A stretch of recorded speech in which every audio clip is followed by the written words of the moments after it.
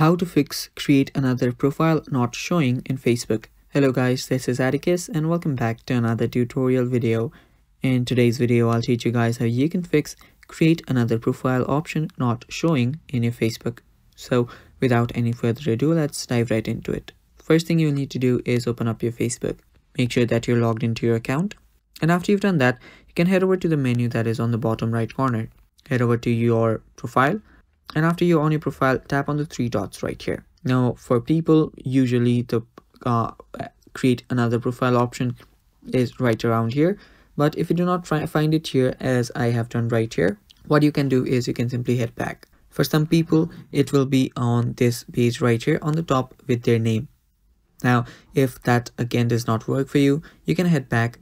And under this menu section you will see a drop down option tap on the drop down option and there you will find create Facebook profile option. So you can head over to this uh, create Facebook profile option and create another profile.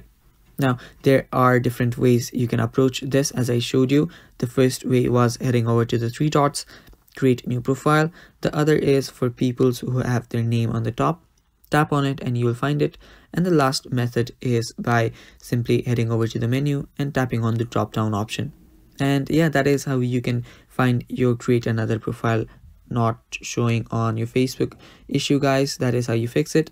Thanks for watching. Stay tuned for more and bye bye